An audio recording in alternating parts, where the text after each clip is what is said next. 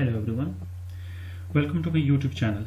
In this video, I'm going to use Mathematica in order to calculate the eigenvalues and eigenvectors of a, any matrix.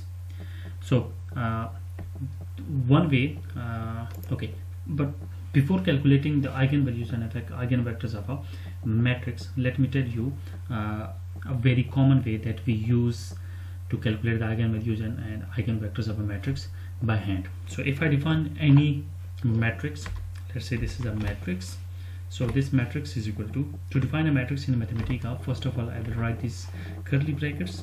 So then I'm going to write the first row of a matrix. Let's say the first row of a matrix is 1 and 2 and then the second row of the matrix separated with the comma and then written in these brackets. So let's say this is minus 6 and 1 so this is my matrix in Mathematica. If I want to write this matrix in the matrix form so I will simply write this mat double slash and matrix form. It will give me the matrix form of this matrix.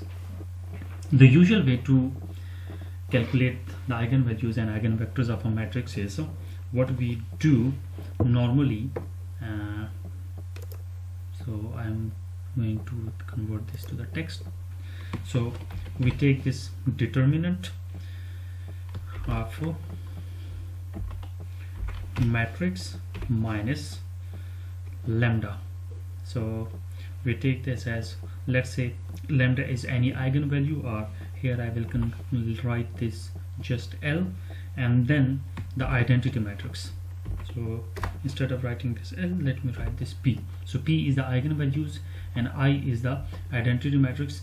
So for this matrix the identity matrix can be a 2 by 2 matrix. So let me come to Mathematica that how can we calculate eigenvalues and eigenvectors for this uh, matrix. So for the eigenvalues uh, let's write EV stands for the eigenvalues which is equal to so in Mathematica there is again a built-in function. I will write this eigenvalues. So here we will write this eigenvalues of this matrix. So since it is a 2 by 2 matrix it will give us two eigenvalues. So the first one is separated with the plus and then the second one is negative and these both eigenvalues are imaginary eigenvalues. So for the eigenvectors e eigenvectors is equal to I will write such as eigenvectors.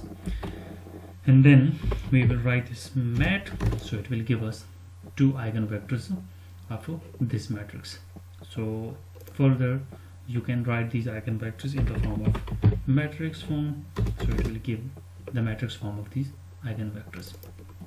So these are the two ways uh, this this is the single way that you can calculate the eigenvalues and eigenvectors of a matrix so let's say if you don't want to calculate the eigenvalues and eigenvectors separately and we want to calculate the eigenvalues and eigenvectors of this matrix simultaneously then we have an another command which is so called eigensystem. Eigensystem and then this matrix shift enter you will see. So uh, so the first numbers in this curly bracket. These shows the eigenvalues of this matrix and then these are the corresponding eigenvectors of the matrix.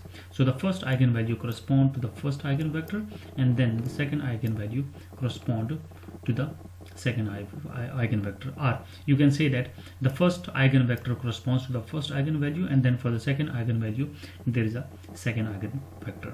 If you like my video do subscribe my channel. Thank you so much Goodbye.